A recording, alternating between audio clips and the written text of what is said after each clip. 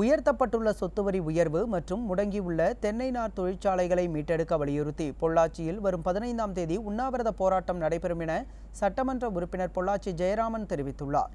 பொள்ளாச்சி அதிமுக நிர்வாகிகள் கலந்து கொண்ட ஆலோசனைக் கூட்டம் சட்டமன்ற உறுப்பினர் அலுவலகத்தில் எம்எல்ஏ பொள்ளாச்சி ஜெயராமன் தலைமையில் நடைபெற்றது. கூட்டத்திற்கு பின் செய்தியாளர்களிடம் பேசிய அவர் இந்தியாவில் எங்கும் இல்லாத வகையில் பொள்ளாச்சி நகராட்சியில் பல மடங்கு சொத்து வரி உயர்த்தப்பட்டுள்ளதாக தெரிவித்தார். பொள்ளாச்சியில் பொருளாதார வளர்ச்சியில் முக்கிய பங்காற்றும் தென்னை விவசாயம் அடியோடு பாதிக்கப்பட்டுள்ளதாகவும் பொள்ளாச்சி ஜெயராமன் தெரிவித்திருக்கிறார்.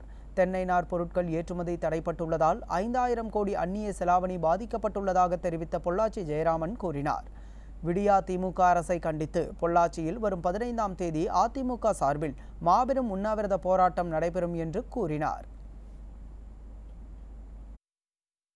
தென்னைநார் தொழிற்சாலை மிக பெருமளவிலே பாதிக்கப்பட்டு விட்டது.